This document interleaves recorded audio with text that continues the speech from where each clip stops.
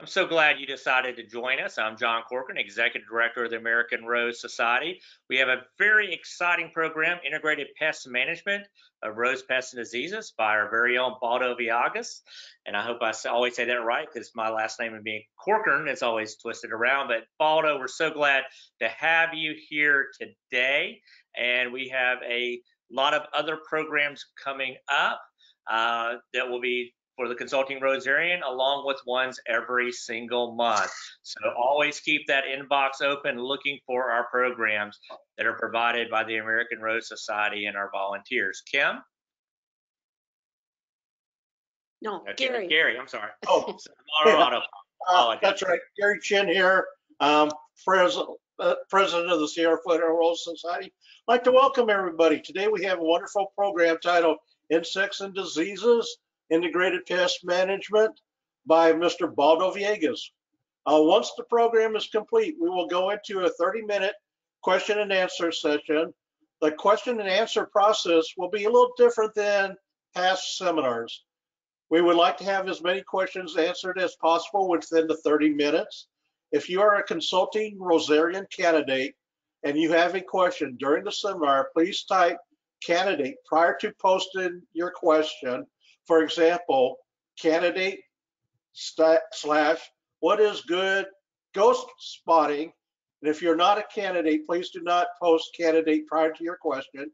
Just simply post your question. I will then ask the presenter your question for you. If your question is not answered within 30 minutes, you will receive an email response to your question. Also, very important, if you're watching this seminar with somebody else, please post in the chat bot who you are watching with. Even if you logged on with both names, post it in the chat. We want to make sure we have noted your attendance properly. And now, Jerry? Well, good morning, good afternoon, depending on where you are. But I want to tell you how excited I am to introduce Baldo. He was our go-to guy for questions across the country when um, Dave and I were national CR co-chairs, and he continues to be such a huge help for our new uh, people that took over. Anita and Mike have been able to get Baldo to be speaker for this program, and we're just tickled. And now, if you don't know Baldo, you need to realize that he grows about 1,500 roses of all types, as well as fruit trees and grapevines and blueberry plants. But because he worked in his buggy business as an entomologist for so many years, he knows a wealth of information about insects and diseases. I could list everything.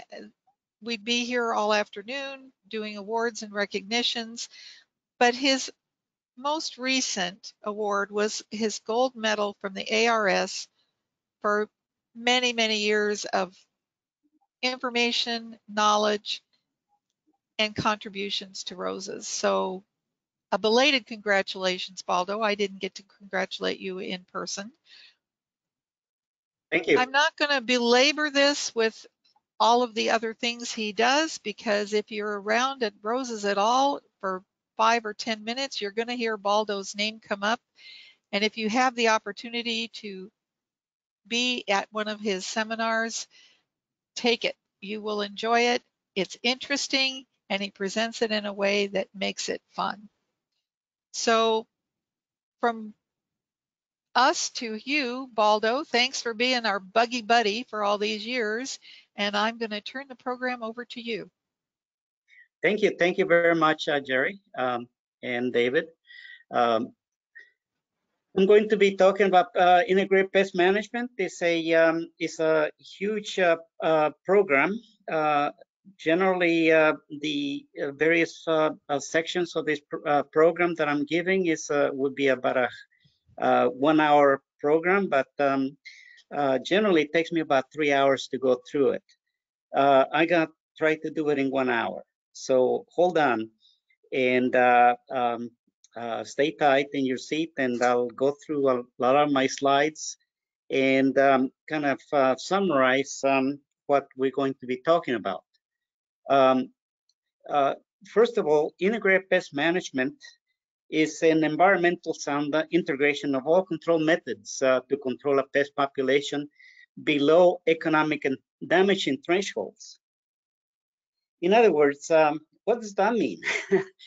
means that um, uh, you try uh, all of the uh, uh methods that are uh, available and you keep and you try to keep the pest the pest population that you're interested in controlling below a level that you can live with or you have to be tolerant now if you notice that the um, uh, this definition is in red and uh, uh, those that are taking the test or consulting Rosarians that are taking the test um, uh, need to know this because you might see them in the test.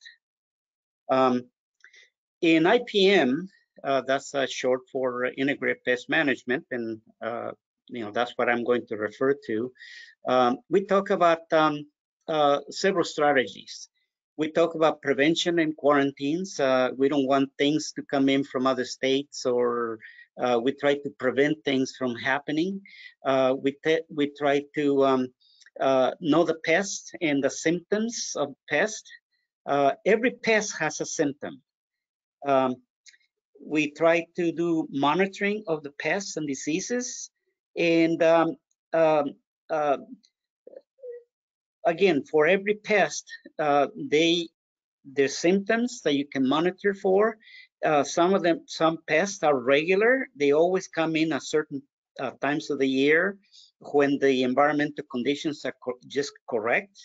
And then, of course, um, we talk to uh, about establishing uh, thresholds or guidelines for controlling the pests. In other words, you have to be tolerant. Um, if you um, if you're an, a rose exhibitor, you don't want any damage on your roses, so your threshold is zero. Whereas um, uh, other people, you know, they're very uh, tolerant of the of the uh, damage that you they see in their roses because they don't want to spray. Okay. Um, and then, of course, this this methods in that we use in in um, IPM. Uh, we depend a lot on culture methods.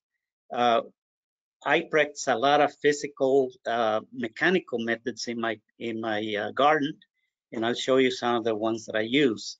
Um, you know, we we always talk about biological control. Well, I worked in biological control for 40 years, so I'll show you some, you know, what biocontrol is all about. And then, of course, uh, we we talk about chemical control or the use of pesticides. Now, Don Swanson is going to talk about um, chemical control and pesticide safety. So I'm not going to go into that because I'm going to let him cover the subject. Um, in culture controls, and again, there's, uh, there's several questions uh, in the CR test on culture controls. We talk about growing healthy plants, uh, buying pest-free plants, mater plant materials, uh, choosing resistant varieties uh, if they're available, uh, I open my garden all the time because I I uh, buy all the new roses um, in the market and then I grow them in my garden. And then when I have people here, I show them that, uh, you know, how some of these roses grow. And then I direct them to uh, roses that are resistant to uh, rose diseases such as uh, black spot or powdery mildew. And of course, um, we talk about um, the planting site. The planting site is very, very important. Um, fertilization, how much, how, or too little. Uh, Brenda talked about fertilization last month. Um, and then we talk about sanitation. Now, this is very, very important. Um, sanitation involves the uh, removing infected plant materials as soon as you see them. Don't wait uh, don't wait until um, it becomes a big problem. Uh, if you see uh, um, uh, something out of the ordinary, take a sample and have somebody like me look at it, and then we can give you a recommendation as to what to do. And then, of course, watering methods, uh, too much, too little. Um, in mechanical control, we're talking about the physical uh, killing of uh, the organisms. Uh, we talk about barriers. Um, we use copper banding for snails and slugs. Um, mulching, you know, a thick layer of mulch uh, controls weeds um, and then conserves water. Solarization of the soil, uh, we use it for controlling weeds um, uh, in soil-borne diseases. Um, we use water for hosing and syringing. Uh, that's for uh, um, controlling aphids and spider mites. Hand picking and crushing, that's my favorite method. Um, I like, I'm a squisher. So I like to squish insects whenever I see them. Um, uh, so I'll show you a few things that I've done in the past. Um, hoeing, um, that's when you use a hoe and then you get rid of the weeds that way. And then of course trapping by using pheromones and sticky traps and, and etc. In biological control, we talk about uh, uh, parasitic insects. We call them parasitoids because they're not really parasitic. They're very specialized predators that, that end up killing the host. And, um, you know, like a, par uh, a flea is an, is an example of a parasite because it never kills the host. But in uh, biological control, parasitoids always kill the host. Um, we talk about predators, and uh, there's a huge number of predators out there in our gardens, the lady beetles, lacewings, predatory mites, uh, and so on. I'll show you a few. Uh, we talk about diseases. Um, there are fungal diseases, bacterial, viral diseases. In my in my work for 40 years, I worked with all of this, um, all of all of these diseases for the control of insects and uh, weed pests. Um, one example of, um, of a, um, a, disease that is used for biological control would be the milky spore for Japanese beetle control. Um, you know, I always ask people, you know, what, what makes a good biological control? A good biological control uh, is one that has a very narrow range of hosts, uh, you know, that it, hosts that it eats, highly specific they're good searchers. In other words, they go in there, you know, between the petals of roses and they look for the pest. Um, they just don't sit pretty on the flower and wait for pests to come in. Um, any any guesses as to what I'm talking about? Anyway, um, and then of course a good biocontrol is able to keep the host uh, the pest population under acceptable levels and again, I work on this uh, area for 40 years, so I'm, I'm supposed to be an expert on, on biological control. Now, I'm going to show you some, um, some insects um, that are beneficials. In other words, they're natural enemies. They're not considered biological controls because they're, they have a, a little bit high, wider host range than we usually uh, we usually want in, in a biological control agent. This is an example of uh, minute pirate bugs. Um, they're very, very tiny. They're about one eighth of an inch um, big. There, you find them between the flower, between the petals of the flowers, uh, feeding on thrips, um, aphids, uh, soft-bodied insects. They're great um, guys to be out there feeding on um, on the pest of the roses. Uh, green lacewings. Um, you can actually buy some of these things, um, but I prefer to um, to um, uh, uh, keep them in my garden without having to buy them. And what, by and what I do is I I I try not to use pet insecticides as much as possible. If I use them, I only use them in in the area where I have the problem, and then that's it. Um, anyway, um, the lacewings lay their eggs on the on in the areas where there's a pest uh, pest going on, you know, such aphids. And you can see on the slide on the uh, left-hand side, you can see the uh, the strands uh, with uh, the eggs on the at the end of the um, of, of the hairs. And then on the right, you can see the larvae with huge mandibles feeding on an aphid. And in my garden, I depend on this guy right here. This is a soldier beetle, also called a leatherwing beetle.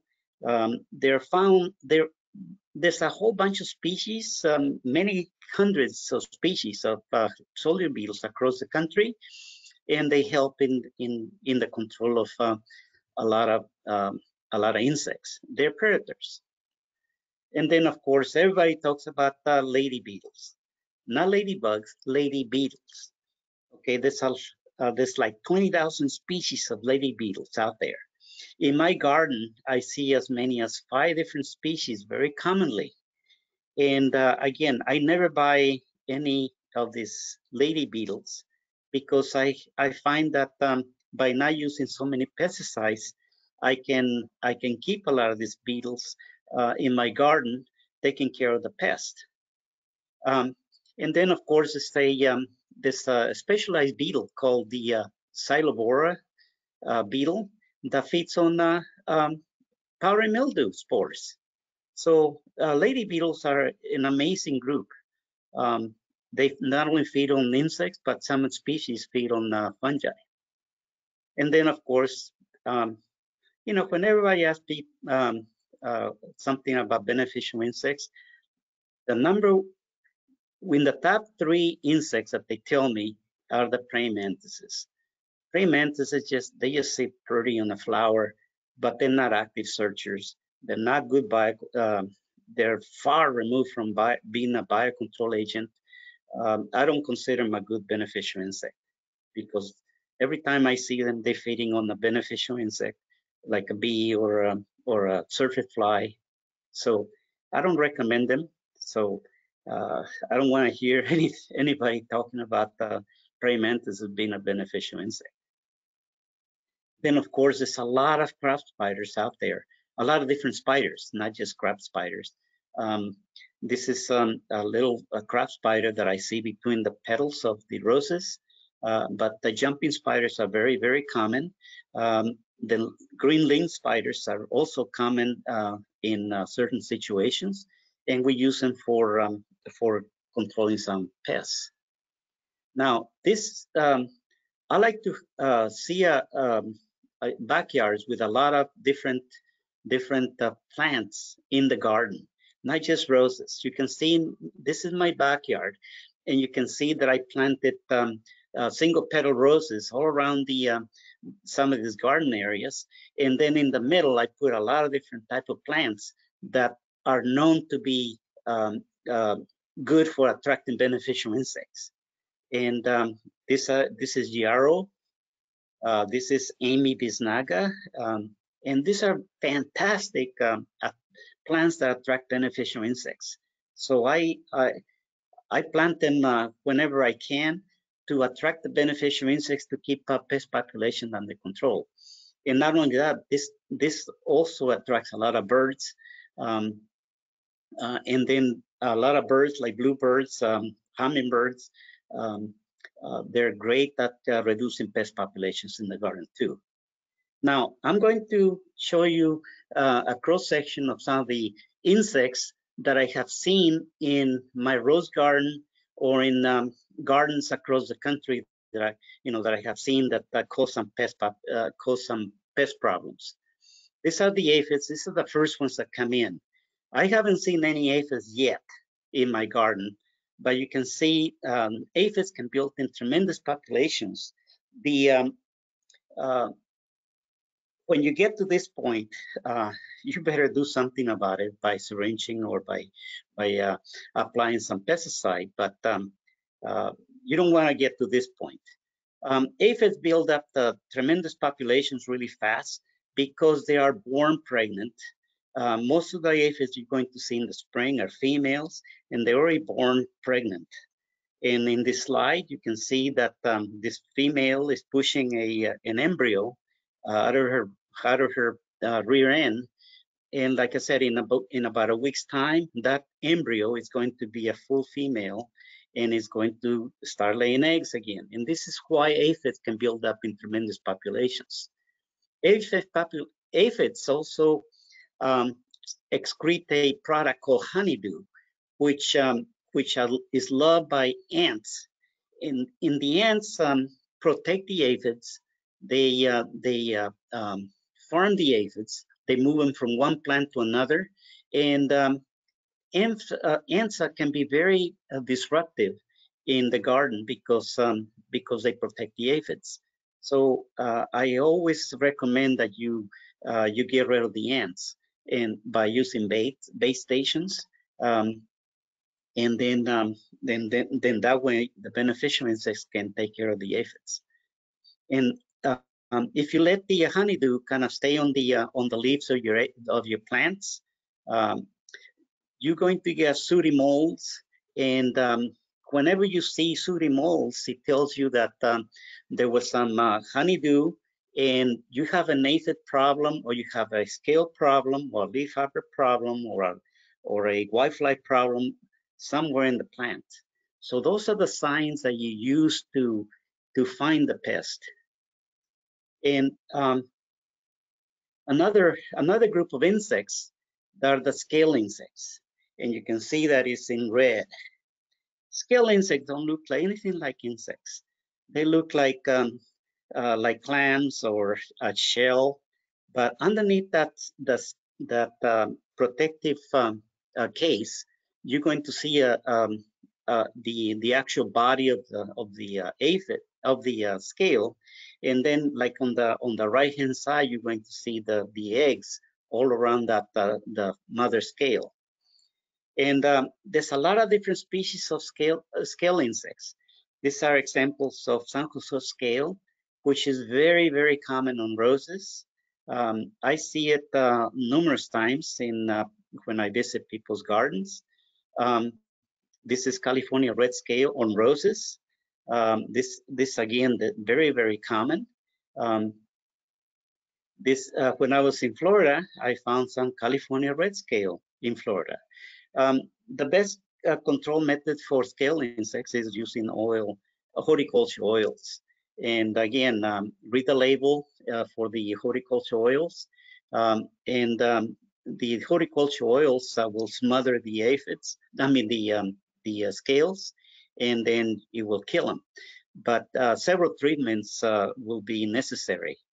Uh, whenever you, you apply any type of pesticide, make sure you, re you read the label because even uh, horticulture oils, uh, soaps uh, will kill beneficial insects.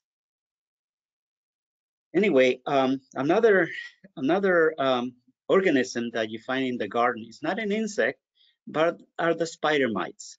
spider mites are very, very tiny uh, creatures. They're actually spiders, and they spin uh, uh, silk, um, and then the, they feed on the underside of the leaves, and um, they suck individual cells uh, from the from the underside of the leaves.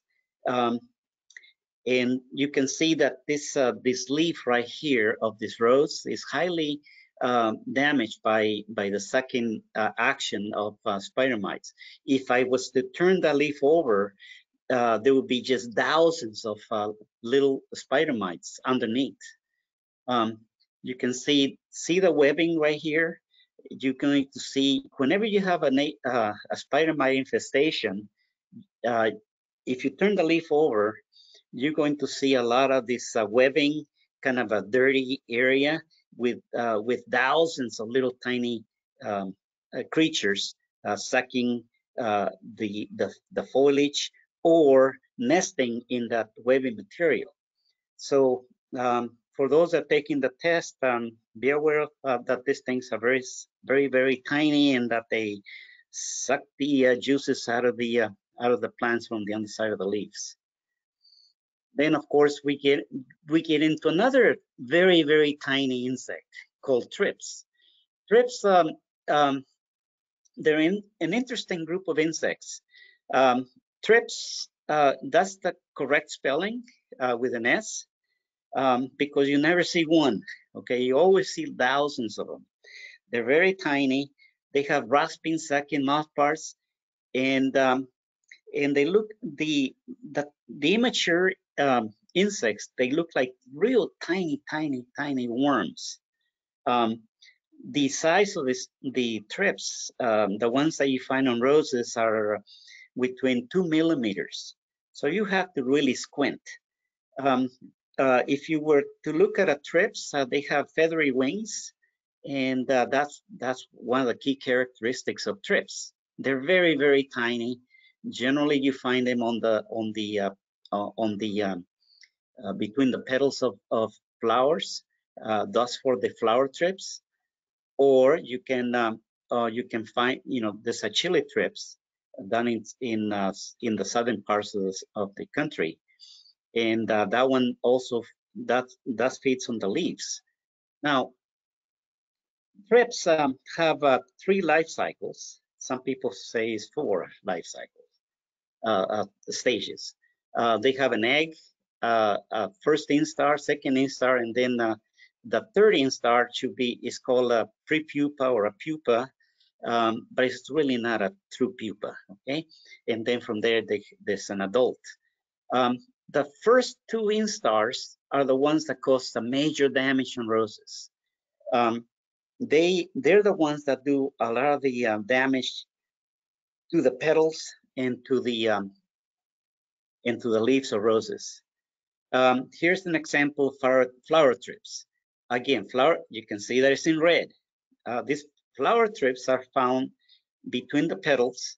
They're very tiny and they they uh, rasp the surface of the petals, leaving these uh, brown trails on the on the on the leaf on the leaves uh, petals of roses.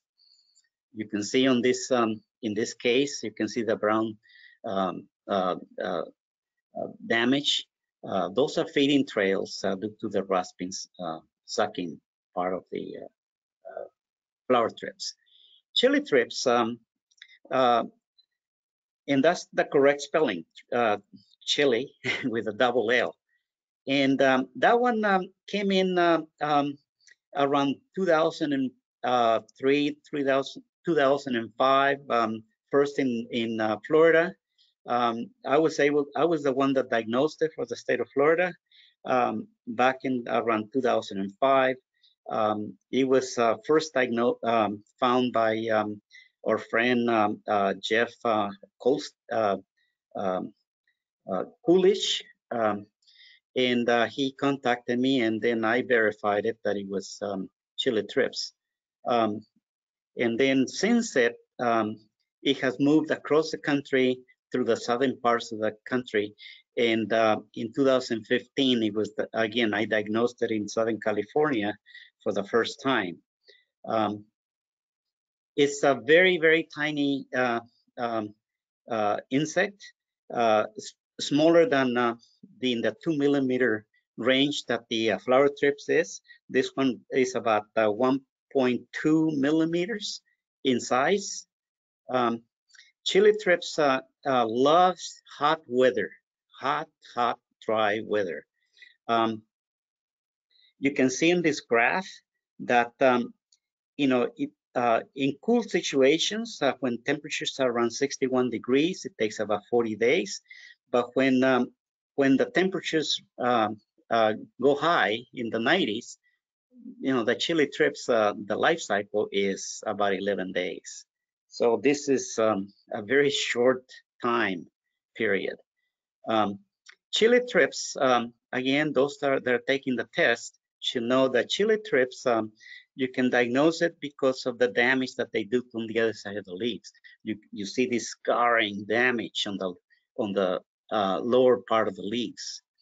Um, and then uh, these are pictures from uh, Southern California. These are, um, anyway, you can see the uh, um, this, um, the wrinkled um, small uh, uh, leaves, very distorted.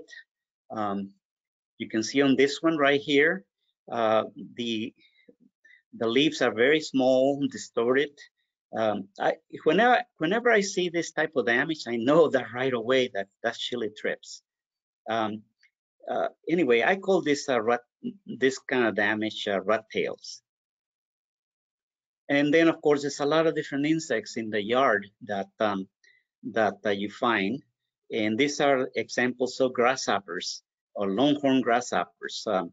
Um, um, these longhorn grasshoppers, we call them uh, katydids and they lay their eggs on the um, on the stems, like in the right on the left hand side. Um, some lay their eggs on the leaves. Um, the eggs look like lentils, and then the uh, uh, the young um, uh, nymphs don't look anything like the adult. uh, they're kind of psychedelic. They they're kind of multicolor, but then as they grow, they turn. The ones in North America, they turn um, uh, uh, green, just like the uh, the slide in the middle of the graph. Um, and then, uh, and of course, in the East Coast and in many parts of the now the the Midwest, all the way to Denver, we have Japanese beetles. Um, Japanese beetles um, um, are a, a, big, big, huge problem in the East Coast. Um, a lot of people just can't enjoy the roses in the summer months because of Japanese beetles. In fact, a lot of people in the in the um, Midwest, uh, East, they sacrifice the uh, summer bloom because of the uh, Japanese beetles. There are some uh, chemicals that will control it. Um, um, uh, anyway, um, and these chemicals can be uh, can be gotten in um, a lot of the local nurseries. Uh, look for um, um, um, Japanese beetle control and apply and make sure that you read the label. Um, these are pictures that I took at um, in Connecticut when I was when I visit over there, and you can see that uh, Japanese beetles cause a lot of damage to the the roses and to the uh, other anything that's green. And then, of course, the larvae, um, they live in the soil uh, most of their life. They live in the soil, and then in in June they start emerging from the ground. And again, this depends on on the area that you're that you're, that you're located. Um, one uh, method of control is mil milky spore, but again, uh, depends on the soil type. And then it takes a long time for some of these diseases to, to take effect. Um, in uh, some diseases can control insects, um, you know, between three to five years. Milky Spore is one of those that's a community-based program where you have to work with the community to introduce it throughout the whole area. Um, in the west, uh, we have um, other type of beetles. Uh, this is the Hoplia beetle feeding on uh, on a rose that I was planned to exhibit in a rose show. This one always comes in the area around April 15. So around April 15, that's when I looked in my garden for uh, for Hoplia beetles. And then uh, usually I see a whole bunch of uh, birds feeding on them. So this is why I'm very happy to that um, um, that I have a bird uh, garden in my in my backyard. Uh, Rose curculios uh, are, uh, can be a problem in certain areas of the country. These are pictures that I took um, from the Bay Area where where uh, Rose curculios uh, can be a big problem. Uh, and again, this is an early uh, pest um, um, that shows up in the in in uh, usually around uh, when when roses start to bud, which is usually in in March, April, and they stay into June in our area, and that's in California. in other in parts of the country, it might be different times. But this is what I was telling you. Always keep a calendar and then jot the, the dates when you when you start seeing some of these pests because they're very, very punctual. They always come at, at a certain um, at a certain time of the year. And I can predict um, this just from the from from the 40 uh, years that I have uh, been growing roses. Um, caterpillars are a lot of different caterpillars. Uh, some of them blend in with the stems of roses, so they're diff very difficult to, to see. Uh, this one uh, you can see is uh, one that I find when I'm pruning my roses. So generally what I do is I, um, uh, they're not very common, so I only see one or two in the, in the whole garden. But when I see them, I usually um, grab them and apply some mechanical control. And I'll show you the type of controls that I use. And uh, this is a little um, inchworm, and you can see that it's very difficult to see, but if you squint, it'll be at the uh, uh, toward the um, base of the plant of the uh, stem, um, very tiny, and uh, but you can see that even when it's tiny, it has done a lot of damage to the rose. And this is on the underside of the leaf. And uh, my biggest problem in in my area, um, and uh, I would say that in in in um, most of California are the fruit tree leaf rollers. And again, these are very punctual. They always come into my garden. Um, uh, the last the last week in March, and they stay through um, through the middle of um, uh, April. And um, what I did to to to control this pest is that I avoided planting roses under under uh, oak trees and under um, uh, trees. Um, and I have a few roses still planted under those trees, but those are the places that I go in the uh, I go to and I monitor the population. And then when I see those um, caterpillars coming down from the from the top of the trees on a silken strand, I grab them and then I squish them. And that's my mechanical way of controlling this pest. And and I don't control this pest using pesticides. I just kind of use the squish method. Um, but um, a few of them can cause a lot of damage. And uh, there's a, a, lot of different caterpillars. Um, I see that this uh, this insect is um, often mistaken for serpentine leaf flies. Um, these are cambium miners, and um, I don't have this pest in my yard, but whenever I go to the Bay Area or certain other areas of the country, I see them, um, and uh, you can see the serpentine um, uh, miner type uh, damage on the leaves, on the leaflets. Um, again, this is a minor, a, a, very minor pest. It's just doing cosmetic damage, but if you're an exhibitor, you don't, this is unacceptable. So you have to use some, you have to use some uh, pesticides in order to control this uh, this this pest. And you find this is a, a leaf, uh, a cambium leaf miner on the leaves, and this one in the stems. And uh, again, um, um, is a minor pest. These cause cosmetic damage. Um, now, I I brought in uh, uh, snails and slugs mainly because uh, the damage that uh, they do is very very similar to that of uh, chewing insects such as uh, beetles and grasshoppers. So, but one of the telltale tale signs is that they leave a silvery slime um, um, um, behind whenever they feed. So what I do is uh, if I see damage on the on the foliage, I turn the leaf over and then I look for silvery trails. If I don't see any any silvery trails, then I uh, then I, I probably think that it's a, a beetle or a, a, caterpillar or or a grasshopper. And um, if I see um, uh, snails and slugs, then I take care of uh, by using um, uh, um, uh, barriers like copper banding or um, or um, sluggo, which is an easy material to use. Um, in the East Coast, in parts of the U.S., um, also in, in the Northwest, like in Seattle and Portland, the uh, rose midge can be a huge problem. Uh, um, I tell people that if they don't see any any blooms in the roses, they might have rose midge. And rose midge are very, very tiny uh, flies. Uh, they, they're mosquito-like, and uh, very, but they're very tiny. Um, I work with a with a, a midge uh, in biological control of uh, weeds, and you can see how small these things are. Uh, these are um, millimeter ruler, and you can see that um, they're under two millimeters long. So they're very, very tiny. Okay, this is not rose midge. Okay, this is a, a biological control agent that I use for controlling a weed.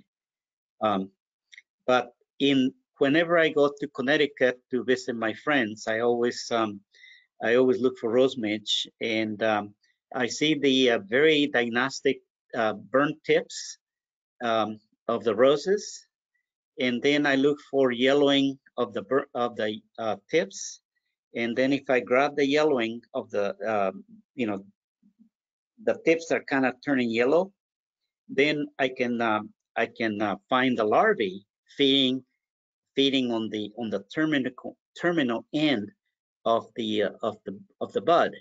The larvae of rose midge they girdle they girdle the um, the stem and then they cause that um, um, blackish um, um, tip. Uh, rose slugs um, can be a huge problem in certain areas. Uh, this is the uh, the uh, rose slug slow, uh, sawfly, and this one feeds on the top on the top surface of the leaves, and you can see that um, it kind of has a kind of a uh, green yellow look. Um, anyway, they they skeletonize the foliage of, ro of roses like this. And then in severe situations, basically they take all the green out of the um, out of the green out of the leaves like that. Another problem that I see often, especially in the Bay Area and certain parts of the country, are the bristly rose slug. And you can see that this one feeds on the underside of the leaves. And this is very typical damage. Um, you see this um, uh, windows, skeletonized windows. And if you if you look at the larvae in high magnification, you can see that it's, it's covered with little bristles. And then, of course, uh, another pest that I see, um, well, a lot of people consider this a pest, um, are the cane borers. And cane borers are um, um, they can be bees or they can be wasps. Okay, um, the ones that I have in the picture here is a little wasp, a little tiny wasp, um, um about uh, three uh, three eighths of an inch, and it's a beneficial insect actually because it preys on aphids. It's an aphid wasp and uses the um, uses the uh, the uh, stems to drill a hole and then in the stem, um, it, um, it lays its eggs um, on, uh, on uh, chambers that it builds by uh, scraping the sides of the, of the canes. They build these chambers, and then she lays the eggs in there. So um, again, if you don't want uh, cane borers in your in your garden, uh, try to keep the aphids under control. Okay, and uh, if uh, if you keep the aphids under control, this uh, cane borers will move somewhere else. So that's my recommendation from many, many years of working with cane borers um, when I was a graduate student. Uh, leafcutter bees uh, can be a problem in certain areas where um, where they uh, harvest them, for, I mean, where they use them for uh, pollination purposes. Um, leafcutter bees um, are tremendous pollinators. So I tend to just kind of um, um, let them do some damage to my my. Uh, I'm tolerant. In other words, I don't uh, take any action against them, um, mainly because I consider them very important pollinators in in my yard. And of course, um, um, leaving the in the insects uh, section, I just want to show you my mechanical ways that I control pests. This is uh, the fruit tree leaf roller, you know, that I showed you before. That was my, that's been my, my worst pest. And what I do is uh, whenever I see them in my, underneath the, um, uh, on the roses under, uh, underneath my, my trees, I go in there and I grab them and then I give them a squeeze. And then of course, uh, uh, uh, three years ago, I visited my friend Marcy Martin and she um, she introduced me to marmorated stink bugs. So um, anyway, uh, out of uh, interest, I grabbed one of them and I squeezed it. You know, I squeezed it really hard like that, and of course, it's a stink bug, so it stunk, and I couldn't get that odor. Um, and I had to catch a plane later on, and people around me kind of look at me with a you know, kind of, uh, you know, what have you been eating or what have you been in? So, you know, be careful what you squish. Um, my friend uh, uh, Marcy uh, uses a bazooka that she got on Amazon. And what she does is whenever she finds uh, some some of these marmorated stink bugs uh, in her um, in her house, she uses the, the bazooka to suck them up and that she uses them for um, I guess you use it in the garden too. So, you know, if you're kind of squeamish about um, squishing insects, you can get yourself a bazooka and then using using it to uh, collect insects in the yard. Um, now, rose diseases. Um, I'm an entomologist. Um, I have a little bit of background in plant pathology. Um, so I invited Dr. Uh, uh, Mark uh, Windham to be available for uh, for half an hour to answer any questions that I might get stuck with. But uh, rose diseases, um, uh, you know, they, they depend on the susceptible host um, in available pathogen, you know, like uh, fungus, and then the right environmental conditions. This is um, this is known as the um, the uh, plant disease triangle, and then of course uh, it takes time for this stuff to take place. Um, when I was a graduate student, there, was always a test that that was given in in um, in the plant pathology um, yeah, class. Um, now, diseases, uh, they can be um, uh, they can be abiotic diseases, in other words, caused by environmental uh, uh factors, um, physiological, nutritional. Uh, you can you can um, if you overwater or underwater um, your plants, uh, you, they're going to so, show some symptoms. If you have the pH is imbalanced, again, show some symptoms, environmental extremes, um, air pollutants.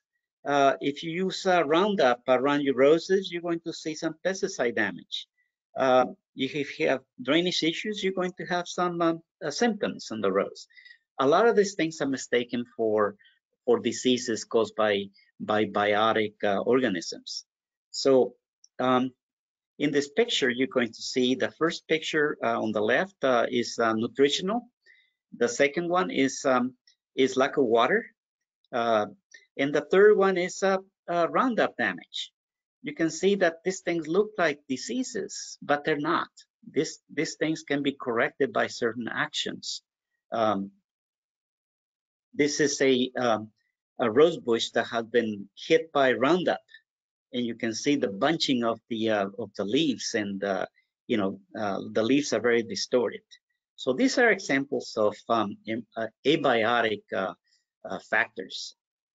Now for disease for for um, diseases caused by biotic factors so by or caused by caused by organisms um, we we we're going to be looking at nematodes bacteria fungi and viruses um, nematodes are very, very tiny. You're not going to be able to see a nematode, but um, they they can cause um, um, uh, damage to the um, to many parts of the of the rose. Uh, this is an example of a root knot nematode, and these are called these uh, nodules on the on the roots of uh, of your roses. Um, uh, these are um, examples of some of the other nematodes that you might have in in your roses, but uh, the root nematodes are, are, the most common that I have seen, especially in, in other plants like tomatoes or so. You know, when you have a, a, a susceptible tomato and um, you, uh, this is why they tell you to um, to rotate your plant, your um, vegetables, because um, uh, some of these um, uh, plants may be infected with um, uh, nematodes or some uh, fungus that you don't want in your garden. Okay, these are um, uh, cultural practices that you can apply to fungal uh, organisms uh, that I'm going to be discussing.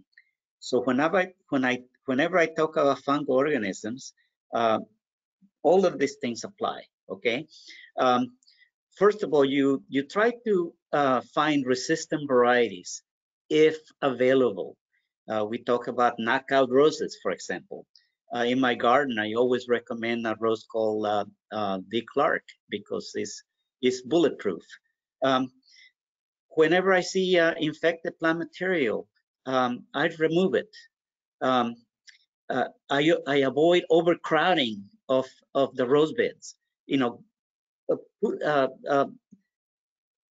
put some distance between the roses and then um, open up the centers so that you get good air circulation. Um, avoid overhead uh, irrigation or sprinklers. Um, try to water um, early in the morning if possible. And, and then um, this will allow the, the leaves to be dry during the day. The worst time to, uh, to water is would be in the, you know, in the evening because then the, the uh, water will stay on the foliage for, for a long time. And then that's conducive for black spot and, and other diseases. Um, sanitize your tools whenever you run, you you cut into um, into infected um, plant material, um, and, uh, and then avoid um, uh, injuring your rose canes. Uh, use sharp tools. Okay, so you're going to be applying a lot of these culture controls for a lot of your fungal diseases. Uh, powdery mildew is, is one of the most common that I used to have. Um, you can see that uh, uh, powdery mildew can, uh, can be um, uh, diagnosed by the the white uh, powdery mycelial growth on the on the uh, on the leaves, uh, peduncles, and stems. Um, and then what the fungus will do is it will distort the um, the stems and the leaves, and and then um, you know the spores can be carried by the wind. Okay, so um, you can see that uh, this there's a question in, the, in your test. And basically, um, you know, the uh, ideal situation for powdery mildew is uh, warm days, um, uh, and then um uh, cool nights. Um, and then the, the cool nights allows for high humidity um, uh, that favor the uh, germinations of the spores, okay? So know that. Um, and then uh, if you you can blast uh, powdery mildew by uh, by using uh, water from the hose. You can just blast uh, conidia because they burst with water. Um, the the fungus spores they um, um, they overwinter on the on the stems and um, on the leaves, on the real tiny leaves, and on the on the on the prickles. And this is an, an example of a uh, severe infestation of powdery mildew. Um, they are resistant varieties. And in my garden, I always, um, I always um, recommend the use of resistant varieties. And I have gotten rid of a lot of plants because uh, they're, they're disease prone. Um, dormant oils can be used, uh, can be used for the control of, um, of uh, powdery mildew, especially in the winter. Um, and then uh, fungicides can be used uh, as a preventative for powdery mildew. Black spot, um, you know, the black spot has a very characteristic um, uh, round spots, and then the the margin of the uh, of the spots are kind of feathery. Um, you can also find um, um, uh, purple stem, purple um, uh, irregular blotches on on the on the stems. Um, uh, and then, of course, uh, uh, black spot can cause severe defoliation. And um, black spot, um, if you water at the wrong time of the of the day, uh, and and and the water stays in the in the foliage for at least uh, for for more than seven day seven hours, uh, you're gonna get a lot of um, um, black spot. So you need to um, to water early in the day so that the leaves ha uh, have a chance to to uh, to dry. Um, so what I do is I water uh, when I use sprinklers. I use it in the in the morning hours, uh, like at seven o'clock, and then that way by by uh, nine, nine o'clock, uh, ten o'clock, the foliage is is dry. So and then um, now rust, rose rust is not is not found throughout the throughout the country. Uh, doesn't like the um, the coldness or the the uh, low temperatures that you you find in the uh, in the East Coast, but in the West is a is a big problem. Uh, uh, rose rust, you can find, you can uh, diagnose it because of the um, yellow or orangish pustules on the underside of the leaves. At this time of the year, which is the winter, you in California, you see the black spores, and those are the um, the overwintering spores. Okay, and again, um, um, uh, rust prefers the um, you know uh, uh, high moisture um, and um, uh, cool days, high moisture. And this is the top of the leaves, and this is what they look like. You can see those those yellow dots on the on the top of the leaf. And then you can see that um, uh, this is another another example of uh, rose rust. Um, there are some available pesticides, uh, I mean fungicides. Um, again, avoid overcrowding, uh, pick up infested um, leaves whenever you see them. That would be my recommendation.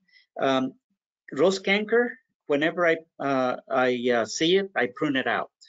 Um, I just whenever you know right now that I'm pruning my garden, uh, if I see it, I make sure that it's pruned out. Um, and I don't. Um, I find that it's not very um, easy co to control with pesticides with fungicides, um, but I use some. I use some. I just prune it out. That's my my major thing that I do. And then of course it's the leaf leaf spots um, caused by anthracnose and cercospora. And again, depends on where you are, you're going to find this, these things. Um, these leaf spots um, are often con confused with a black spot or downy mildew or, or whatever. Um, I find it in the East Coast uh, where it's hot and humid. And anthracnose, I find it in the, in the in the West Coast, uh, especially in the in the cooler parts of um, the coastal areas of California. Um, they're very similar.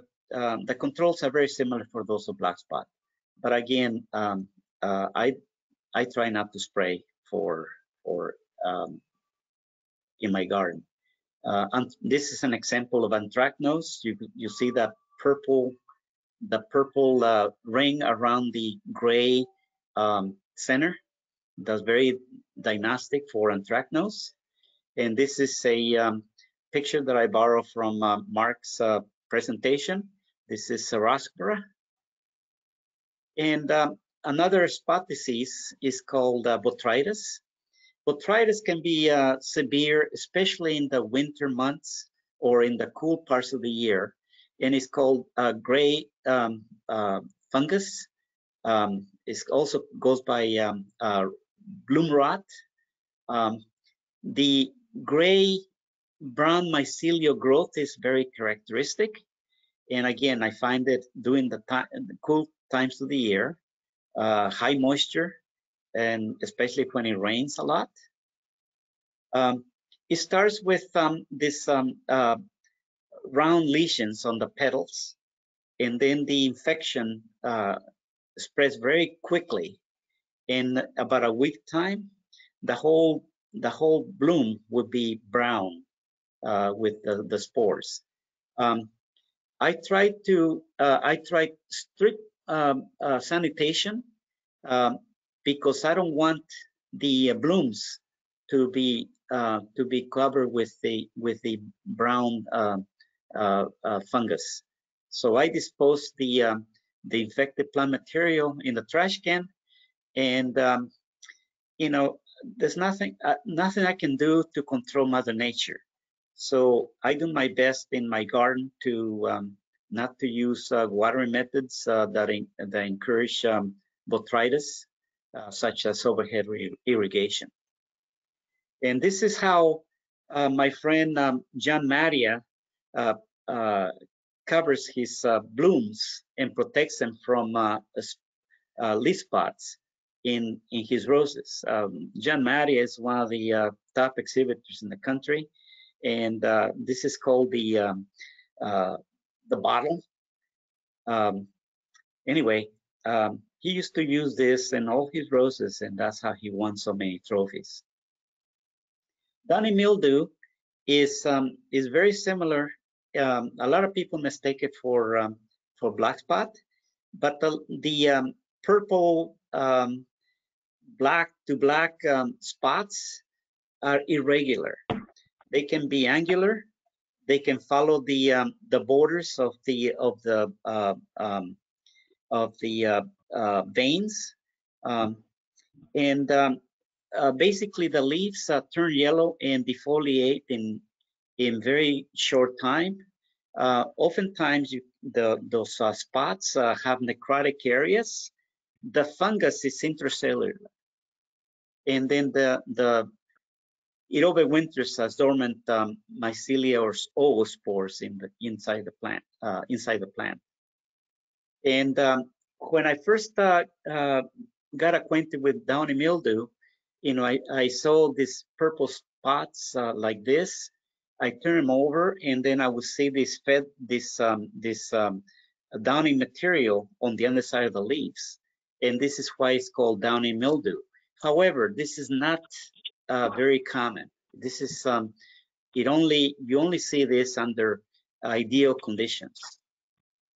Gall, uh, there's a question on gall. And crown is caused by a bacteria, Agrobacterium, Agrobacterium tumefaciens.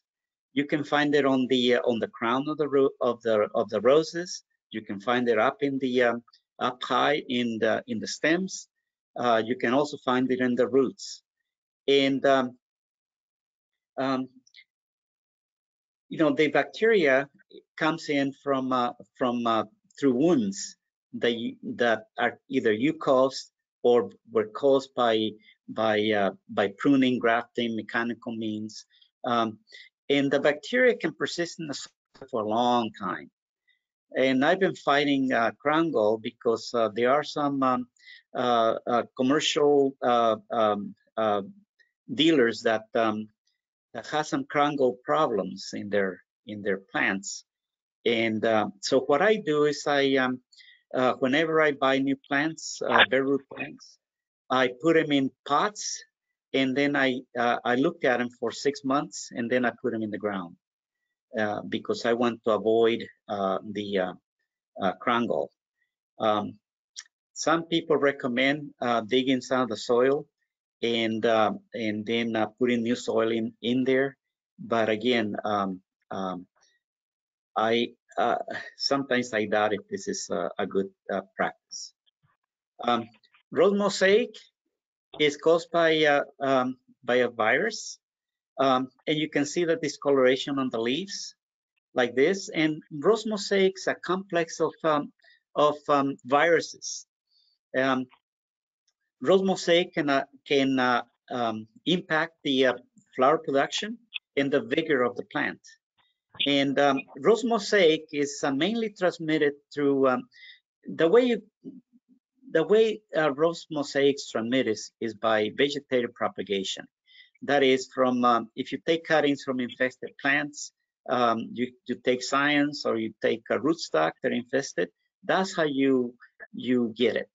Um, uh, so um, again, by planting uh, uh, bare root roses for in in pots for six months, I can see if rose mosaic is present or not. And again, I bought uh, some roses that has some rose mosaic, and um, I tell, usually tell the um, the grower that they have a problem.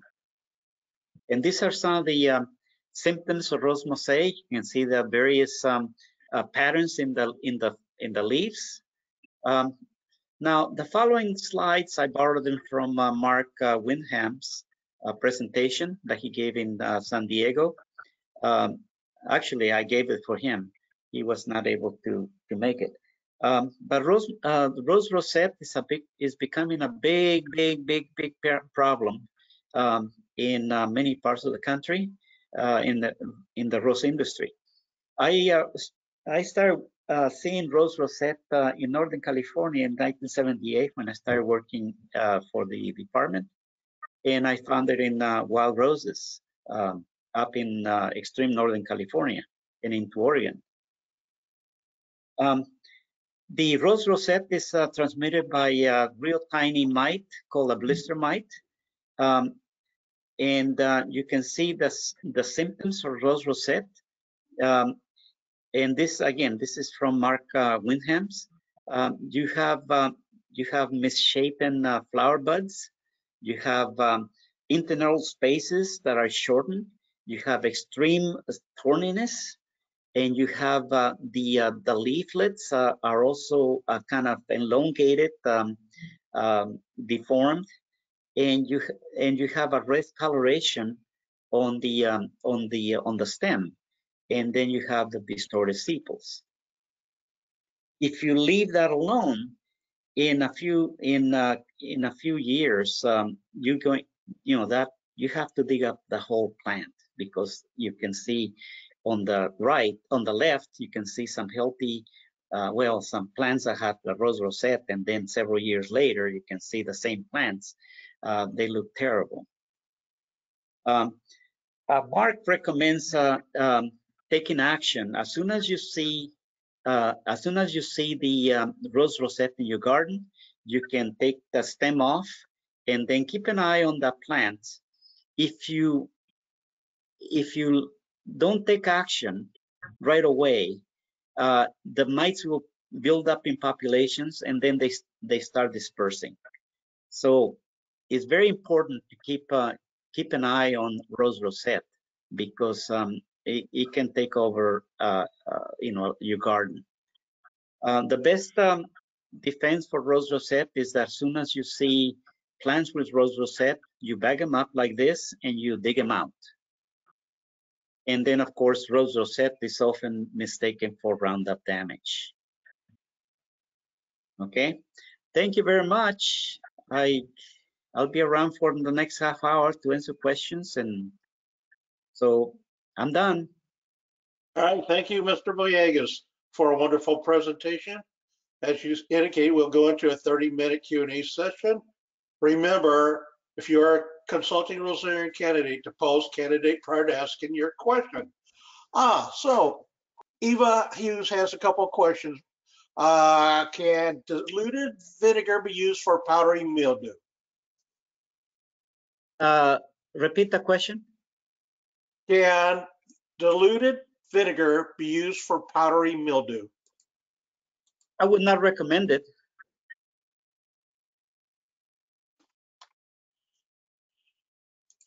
You're going to impact the, the plant in a different way. I don't, I would, I would never re- uh, uh, spray vinegar on my, uh, on my roses, especially uh, even if it's diluted. All right, second question. How can you distinguish rose canker uh, from cane burn? Um, well, the uh, cane burn, um, oftentimes uh, uh, you see a lot of necrotic area in one side of the of the stem, especially where the sun is is hitting it.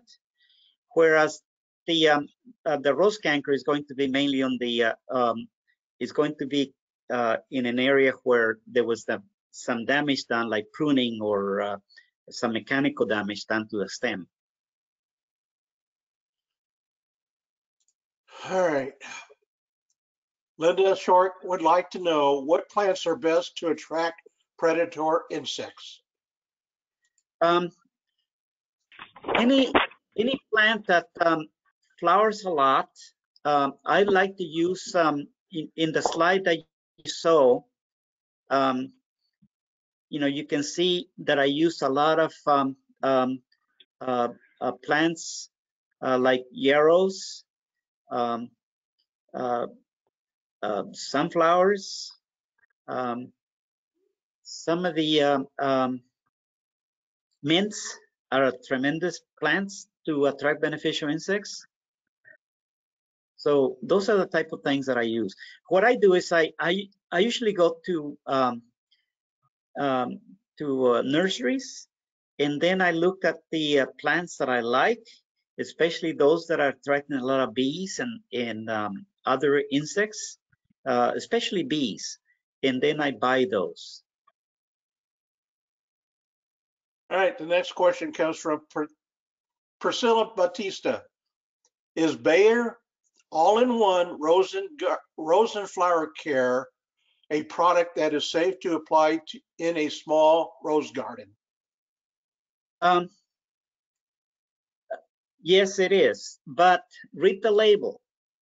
Uh, read the label because the label will tell you um, that um, it will kill a lot of beneficial insects if it's not, if it's not applied accordingly.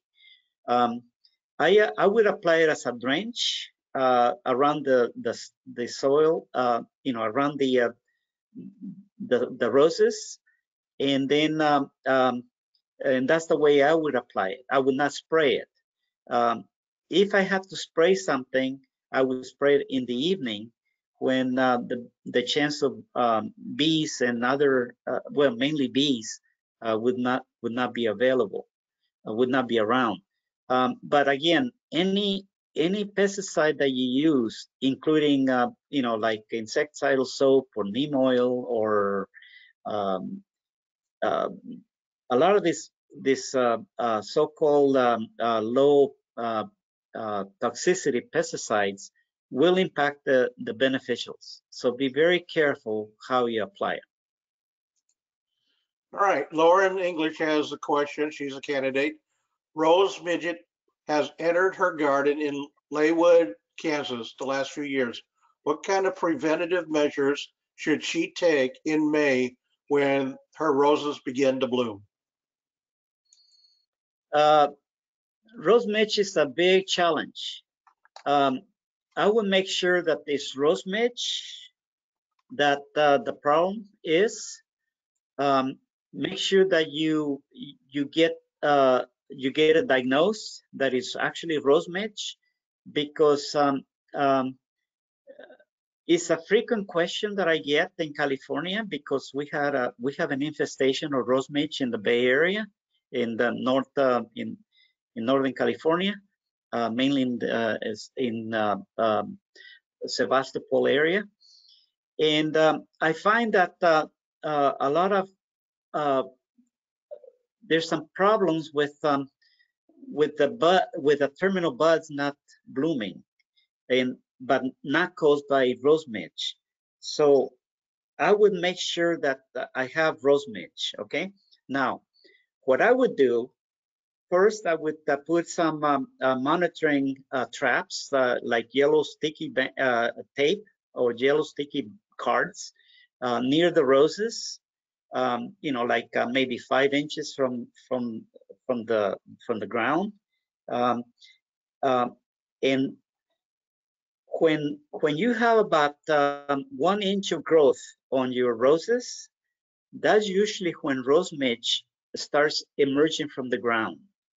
The larvae are found in the ground, uh, the pupae, and um, and the the rose midge starts uh, coming out of the ground when when you get about one inch of growth. So get those uh, get those insects identified. Um, I do this for some my some my friends in uh, um, uh, uh, the Yankee district, and I have uh, identified them for them. And then uh, once they identify it, then it's it's it's a good idea to to put a soil insecticide um, in around the roses. Uh, there are some uh, uh, uh, soil insecticides um, that are uh, are used for um, for uh, Japanese beetle control, and also includes rose midge. So that would be my recommendation. Oh, thank you. Candidate Montine Ross has this question. Can you talk about winter moth damage on roses? Uh, I have no experience with winter moth.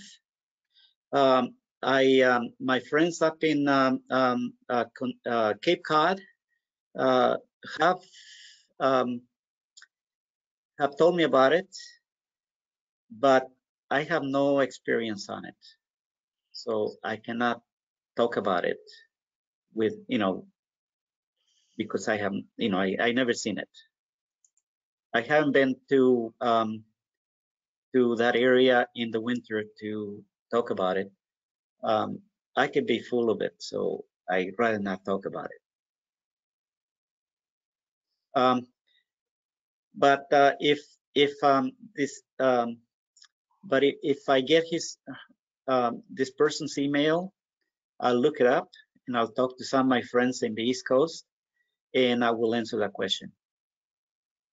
Okay. Mary Cookson has this question. She lives in an area that is infested by spotted lantern fly. She's using traps and scraping egg masses and dunking mist, but still getting enough honeydew from the adults in fall to attract sooty mold. Is there anything she can do to help avoid the uh, sooty mold? She's considering removing her beautiful willow tree because it attracts so many of the lantern moths, flies. Um, that's another one that I don't have any experience um, because it's a fairly new problem in the last uh, five years or so. So again, I would um, uh, I would recommend that uh, that uh, that question be sent to me uh, um, as an email, and um, I will look it up. And um, you know, in a few days, I will answer that question. Not uh, in the next half hour, but in, the, in give me a, a few days, and I will answer that question. All right, Terry Hunter, would you please share treatment methods for thrips? For trips, Yes, Um, okay, uh, the, um,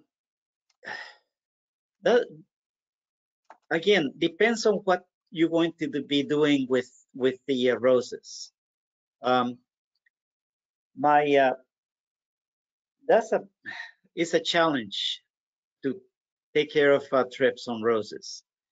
Um, in the past, I used to use um, uh, some of the heavy uh, materials, um, uh, but because of um, the um, the impact with to bees, we have um, we don't uh, use the heavy materials anymore.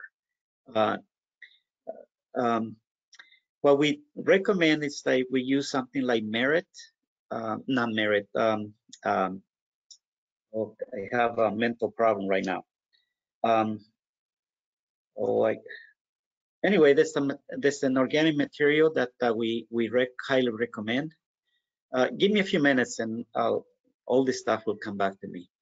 Um um i have a senior moment. Um i know what it is but i can't think of it. Um um oh god. Um give me a minute. I'll i'll come back to it. Okay. Uh, Floyd Sewell wants to know how to get rid of root knot nemat- nematodes. Uh, there's there's no way you can get rid of them. Um, you can lessen the uh, the um, again. I would make sure that you have the root nematodes before you take any action. Um, you can uh, solarize the soil, but it's not. We don't. There there are no treatments available for root nematodes. And um, I don't know if Mark is around. Um, but if Mark is around, he maybe he can uh, uh, he can tell us um, if he knows of any methods. But as far as I know, there's no method for controlling root nematodes except uh, solarizing the soil. Um, hi, Baldo. We do have Mark Windham on the line, and we've just been trying to make sure his audio is working. So, Mark, I don't know if you are, um, you can hear me, and you can also help Baldo out on this particular question.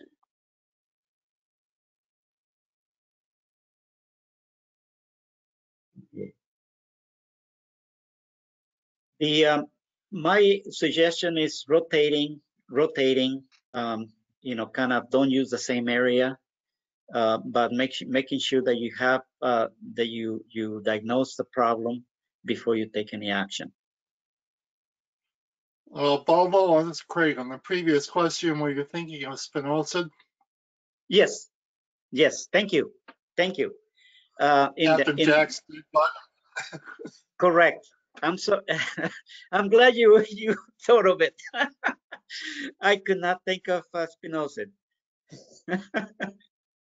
Thank you, thank you. Uh, spinosad can be used, uh, but again, read the label because uh, there are some limits uh, as to the number of times that you can use spinosad. I believe that you can use it uh, no more than five times in the year. All right, the next question comes from, I'm gonna butcherize this guy, person's name, Shinichi Harada. Would like to know what can we use to sanitize pruners when you prune diseased roses? Um, well, in the past, I used to use a, a one to 10 dilution of uh, bleach. But of course, uh, you know, I don't use that anymore because I ended up with uh, uh, pens that uh, had all kinds of different colors. Uh, and also it uh, corrodes the, uh, the tools. Um, so what I do now is I use um, alcohol. Um, I use a fresh bottle of alcohol um, but uh, I also use uh, I also carry in my bucket that I use for for demonstrations of pruning um, seminars. I use um, Lysol spray, and I've been using Lysol for the last uh, probably 30 years. Um, I was working with uh, the, the, USDA for the eradication of um, white rust on chrysanthemums and when I was um, working with them on that, um, uh, I noticed that they, they sterilize their tools with um, with Lysol. So that's what I use. All right, uh, candidate Mitch Berry would like to know what predator bugs have you found most effective in combating thrips? Um, the the best one are the uh, the small uh, pirate bugs. That's the best one. But there are some, uh, unfortunately, you can't buy these things. Okay, you cannot buy these things. Um, you can, uh, there are some uh, also, uh, a lot of natural enemies that I have seen are the uh, small uh, pirate, pirate bugs. Um, there are some um, predatory mites that also can be, that I, I have seen them. Um, and um, uh, and then uh, there are some uh, tiny flies called long-legged flies, um, family Dolichopodidae, that I have seen going up, you know, in and out of the of the roses, um, hunting for for thrips. But Right. again, you cannot buy these things. All right, the next question comes from Gail Beasley. Is soil solarization really possible in northwest cooler locations like the Pacific Northwest? You know, um, I don't know too much about uh, this subject um, because I have never been uh, happy with so, uh, solar soil solarization. I have used um, uh, black um, uh, um, clear plastic over the soil, um, but I always want to use the soil uh, on that area right away. So I have never been that happy. Um, so I don't know the subject. Uh, if Mark can uh, is still in, uh, if, if can jump in and give us an, an opinion, uh, I would appreciate it from Mark. Uh, so you know, send me that email and I'll I'll look it up in the next uh, in the next week or so, and then I'll I'll be able to give give a, a better explanation. Looks like Mark's uh, left us. Ah, candidate Melissa Borman wants to know, is it necessary to burn disease pest effective plant material? If you're allowed to burn in your area, that would be an ideal situation. In fact, uh, a lot of, you know, when I first got in, when I, I first started um, uh, uh, getting into rose rosette, that was the recommended uh, thing to do. But um, I live in Sacramento County, and uh, in Sacramento County, you cannot burn. So if you can burn, more power to you. That's the that, that's the excellent um, recommendation that I use. I wish I, I lived just uh, five miles north of me, and that would be in uh, uh, Placer County where I could burn. But um, uh, if you can burn in a safe area, do it.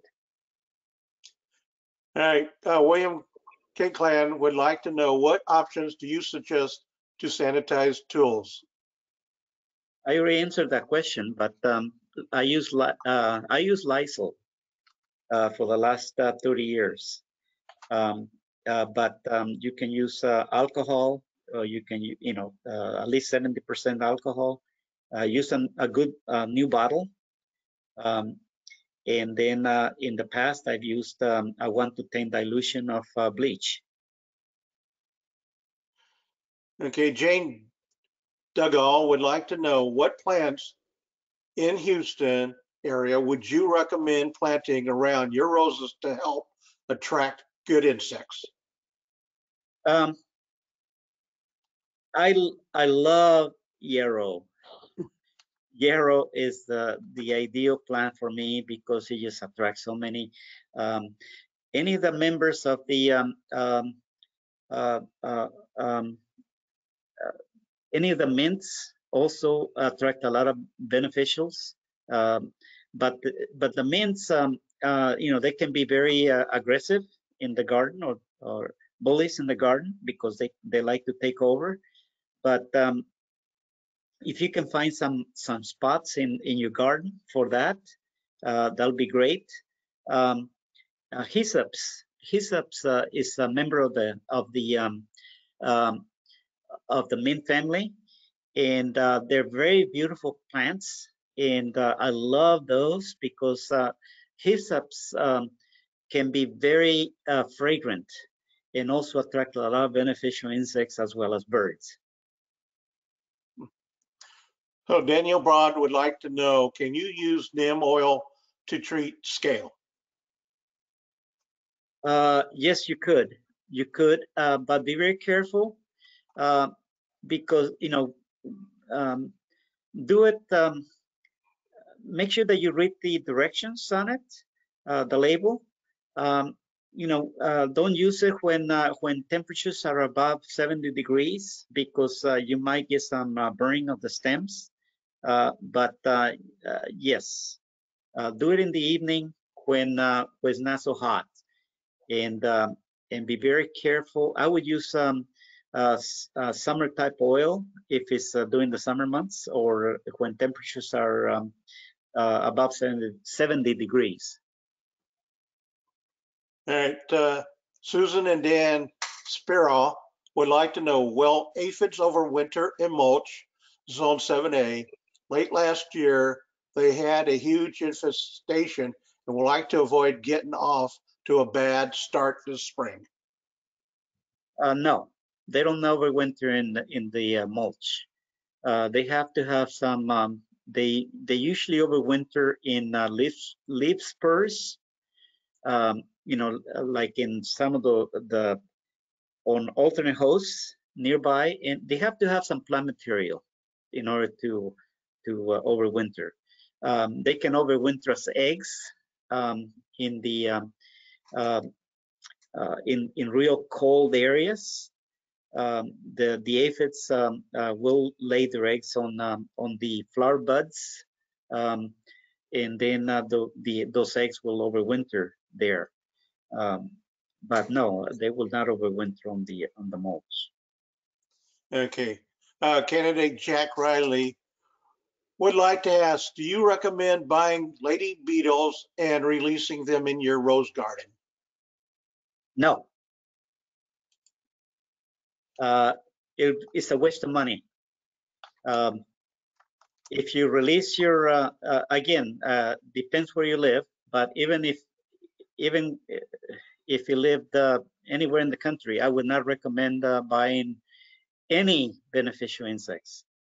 Um, it's often the use of pesticides, especially insecticides, and you will, and then put in uh, additional uh, perennials in your garden uh, that attract beneficial insects, and um, uh, you will find them.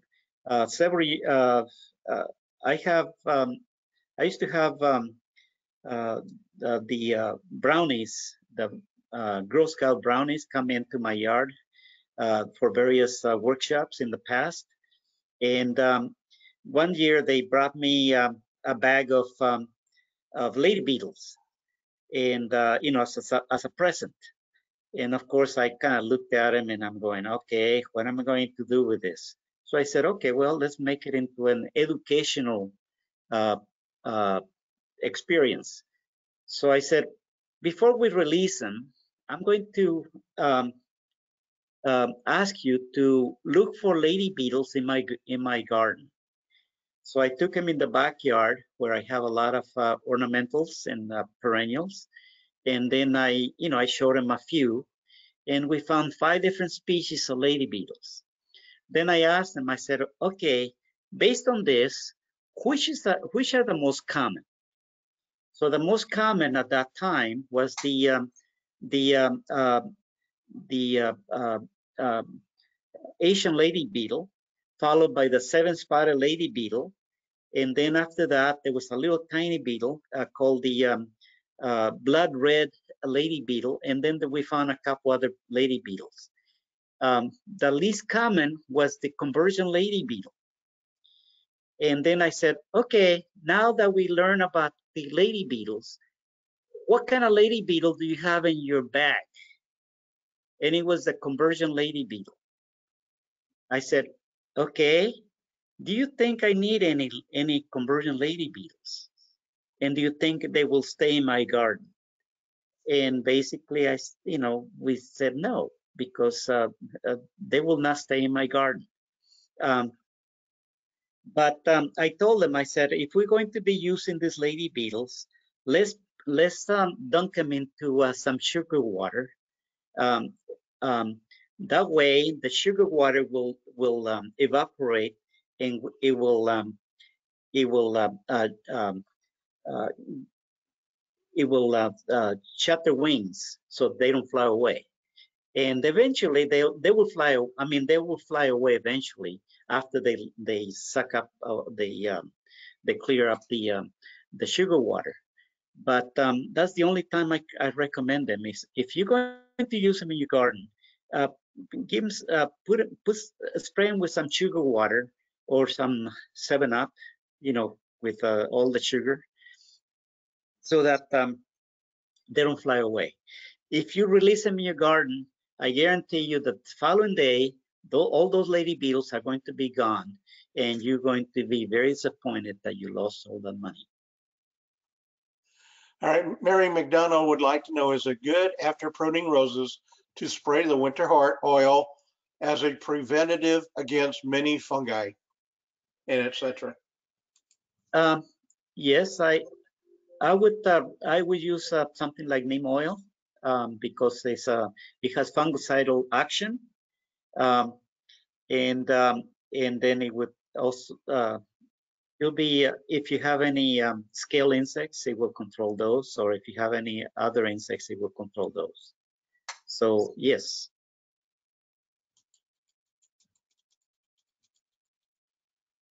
Next question. David Davis would like to know, do you ever apply humic acid to your plants? No, I have. I'm not familiar with that with the product. I heard about it uh, from Dr. T uh, Tommy uh, Tommy Cairns, uh, but um, I thought that was in uh, included in, in pesticide. I mean uh, fertilizers. So no, I don't apply humic acid to my plants. I personally I don't go for that.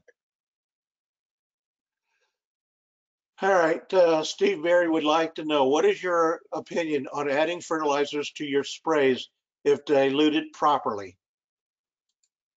Um, I would not recommend it. I, I would, um, um, I think that uh, if you're going to spray, spray for the right um, problem, uh, you know, either a fungicide or a uh, insecticide, but uh, um, apply the fertilizers separately.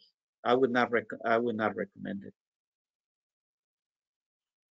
All right, Steve Barry would like to know what the difference between horticultural oil and neem oil, and what do you recommend for white fly on hibiscus plants? Okay. Um, neem oil is um, is uh, an organic uh, in in um, product uh, from the neem tree in India, and um, the uh, horticultural oil is can, can be a synthetic product, um, either from uh, um, well, uh, at least the, if you're going to just call it uh, horticultural oil, it's going to be a synthetic product. Um, there are some several types of oils out there. You know, it can be from um, um, uh, several mint plants. It can be jojoba. It can be uh, various types of oils. Um, uh, neem oil is, is, has proven very effective uh, for um, for a lot of uh, sucking insects, and then on top of that, it has the fungicidal action. Um, so, um, if if I had the choice, I would go, I would go with neem oil because it's the organic uh, material. Um, uh, but again, I would be very careful how I use it, and I would definitely read the label on on its use. All right, we're down to last minute, so we have one more question. Those questions that are not answered by Baldo will be uh, answered later on, and you'll get an email response. So Hank Rosen would like to know, what do you recommend for treatment of botrytis in Florida? Uh, for botrytis, Yes, uh, that's a that's a that's a toughie um, because botrytis is one of the um, is one of the uh, fungi that loves the uh, uh, cool, wet weather, and um, it a lot of fun. Uh, you know, there's also a lot of resistance uh, built in some of those uh, um, uh, um, in this fungus. So um, I found that most fungicides are not that useful.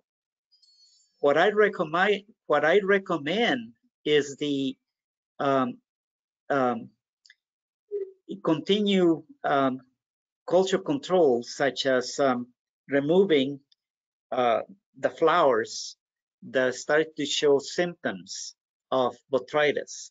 You know, when you start getting spotting, enjoy the flower for a couple days, but as soon as you start seeing petals turning brown, then uh, take that prune prune out those uh, those infected uh, stem uh, uh, blooms, and you can just grab them by, with your hand, and then just kind of uh, you know you're gonna have a whole bunch of uh, petals in your hands, and then have a garbage bucket with you, and then just toss them in the in the trash can, and then get them out of your yard as soon as possible. Do not do not let that get it to the to the uh, critical stage where the whole bloom is is uh, gray. Uh, then you're asking for disaster. But no, uh, fungicides are not that, that effective on uh, in in uh, garden roses. I would not recommend it. Thank you, Baldo. Before we close out, Gary, our Executive Director, John Corkin, has a few words he'd like to say to the attendees. John?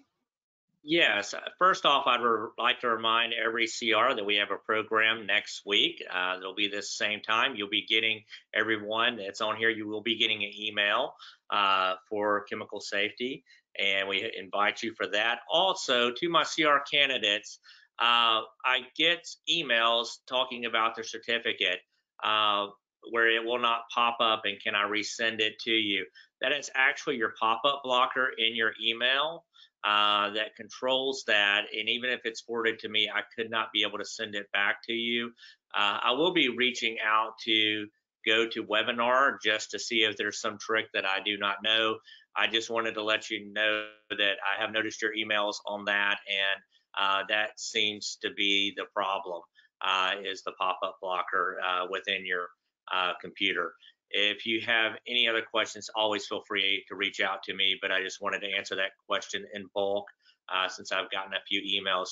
Do not worry, even though you do not have the certificate, we do have your name of everyone who attended today, you will get credit and that will go to your district CR chairs. So for sure that will happen even if we're not able to assist you in getting your pop-up blocker from bringing up that certificate. Just wanted to make that friendly reminder and thank you for attending and taking time out of your busy day today on Saturday. And we're so glad you're part of the American Rose Society. For you who are not, uh, we invite you to join the American Rose Society at www.rose.org so you can get to some other webinars that we'll have that will be just for members, one of those member benefits. Thank you so much and have a wonderful weekend.